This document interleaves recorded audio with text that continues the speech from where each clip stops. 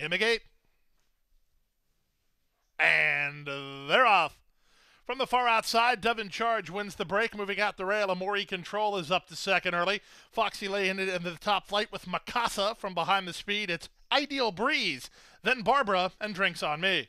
And they run to the half mile point. Amori Control moves through inside to take the lead by almost a length from the big favorite, who's racing in second. Devon Charge, red colors. Foxy Lady, three wide.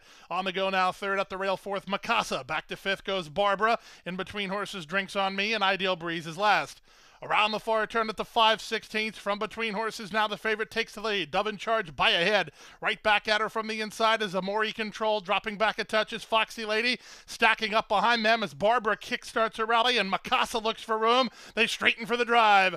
Up front, it's still Amori Control with the inside edge. Devon Charge tries to get back to her. Off cover. Here's Ideal Breeze with an upset threat. There's an eighth of a mile to go. Trejos trying to get 1 16th more from Amori Control. Mikasa rolls at the rail. Amore E-Control digs in. Amore E-Control hangs on to win it. Mikasa second. Ideal Breeze third. No excuse for Devon Charge. She was